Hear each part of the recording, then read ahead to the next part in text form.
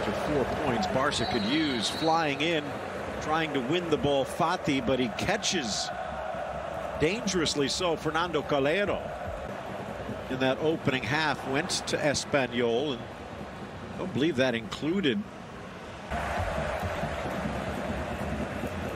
yellow card against the young attacker.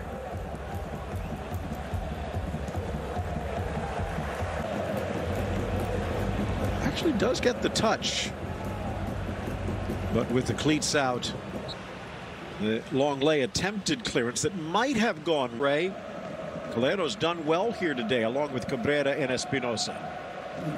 Maybe the need for a replay. Yeah, as well has performed admirably. No, this is a, a, a, a, a Oh, wait.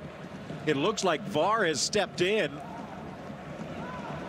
And an ejection. Ansu Fati has been tossed just three minutes after entering the game. Nearly five if you count this time with Calero down on the ground, but he's been ejected and there's not really much of an argument here.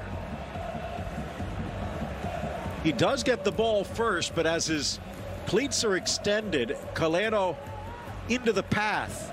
What do you think, Ray? Uh, he's jumping into the challenge as well, Ansu Fati. It's a young lad that sees a free ball to be claimed, and it's a wrong decision. Calero comes off the worst, and in his appetite to get to the ball quickly, he jumps into the challenge. I'm not so sure if it would have been a clear red card, uh, Phil, if he'd not jumped into it, but he leaves both of his feet, in any challenge nowadays, it's a cardinal sin, and rightfully so.